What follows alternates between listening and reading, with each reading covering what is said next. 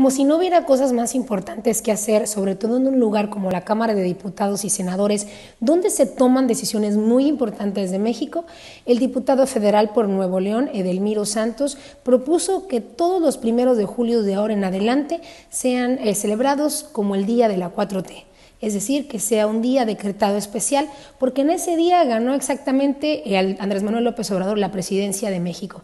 Creo que las obsesiones o las ganas de quedar bien con el presidente han llegado hasta este punto. No pasaba hace mucho cuando hace justamente un mes el mismo diputado propuso que las afores de los trabajadores mexicanos sean administrados por el Banco de Bienestar, es decir, en total, total eh, poder del gobierno federal cuando pueden ser externos. Y eso, créeme, hasta el momento está comprobado, es todavía muchísimo mejor.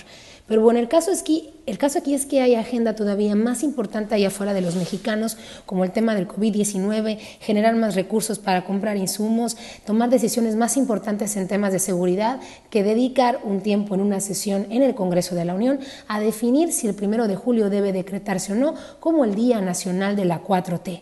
Así las cosas en México. ¿Tú estás de acuerdo o no? Yo soy Michelle Rivera para Son MLS.